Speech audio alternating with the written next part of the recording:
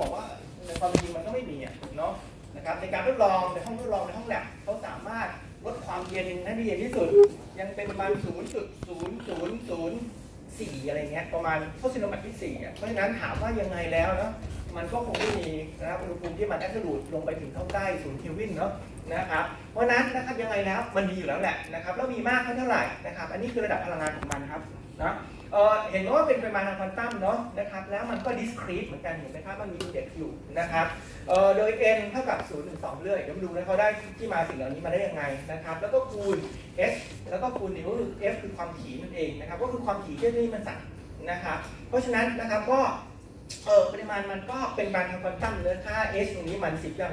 ลบ34ถูกไหมครับเพราะฉะนั้นมันเล็กอยู่แล้วนะครับเออก็นะครับที่มาของมันก็คือนะครับเจ้า phonon นี้นะครับ มันเกิดจากการแก้สมการโชดิงเกอร์ครับเนาะออขอข้าม skip ไปนิดนึงโชดิงเกอร์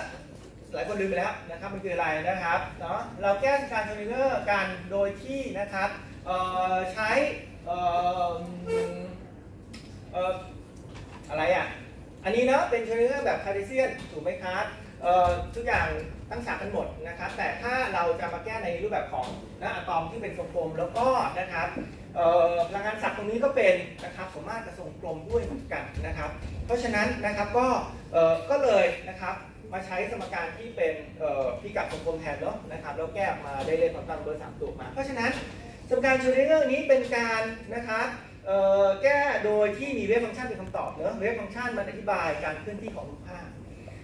การแก้ของเราในบทที่หนึ่งอันนี้นะครับ มันเป็นการ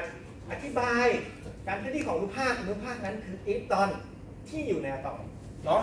อิเล็กตรอนที่อยู่ในอะตอมนะครับ มันจะมีพฤติกรรมแบบนี้นะครับตามเวฟฟังก์ชันก็ว่าไปเนาะนะครับความตั้งเบอร์สามตัวย้อนกลับไป อันนี้นะครับไม่ใช่อิเล็กตรอนในอะตอมแล้วแต่เป็นอะตอมซึ่งก็เป็นอนุภาคเหมือนกันในโครงผลึก อะตอมในโครงผลึกจะมีพฤติกรรมนะครับ หรือมีการเคลื่อนที่ลักษณะไหนก็แก้โดยนะครับสมการโชลิเกอร์ด้วยเหมือนกันนะครับเพราะนั้นสมการโชลิเกอร์จริงๆแล้วนะครับ มันไม่ได้ถูกจำกัดไว้ในการแก้การเคลื่อนที่ของอิเล็กตรอนอย่างเดียวนะครับใน